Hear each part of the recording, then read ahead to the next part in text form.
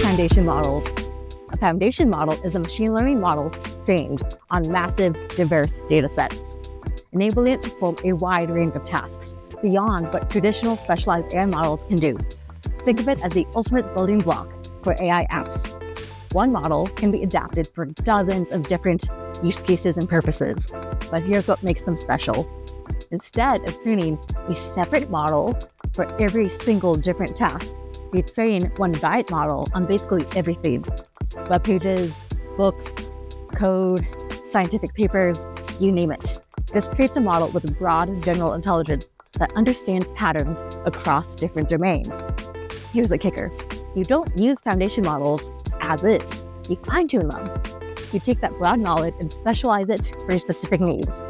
Want a medical chatbot? Fine tune it on medical data. Need a coding assistant? Fine tune it on programming languages. It's the same foundation, infinite applications. You see this in open source models hosted on Cloudflare Workers AI. Llama 3.370B is optimized for multilingual dialogue. Mistral Small 3.1 adds vision understanding for both text and images. Whisper Large V3 Turbo is fine-tuned specifically for speech to text. BGE models are specialized for embeddings and for re-ranking in search systems. The versatility is insane. GPT-4 can write code, analyze images, translate languages, and have conversations. DALL-E generates images from text.